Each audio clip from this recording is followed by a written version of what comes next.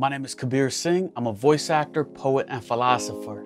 Today, we're going to be talking about a really simple tool that's helped me in my voiceover business. Specifically, it's helped me become really efficient at editing.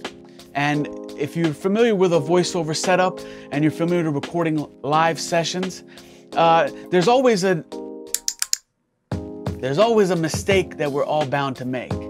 And when you're doing a live session with a client, you might make a mistake during that live session. Now, if the session is an hour long, you're gonna have an audio file that's an hour long.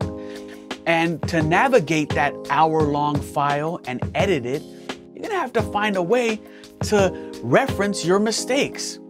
And throughout the years, a really simple tool that's helped me is the clicker. Ah, this clicker is one of the best tools in efficiency in voiceover editing.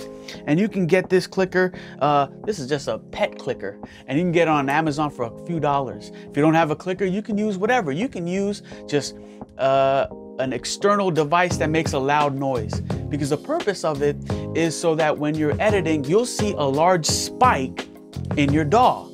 And when you see that spike in your DAW, you'll know much more efficiently that that's exactly where the error was made. So now you can edit your one hour session file really quickly and really nicely, really efficiently for your clients, all because the spike in the audio wave.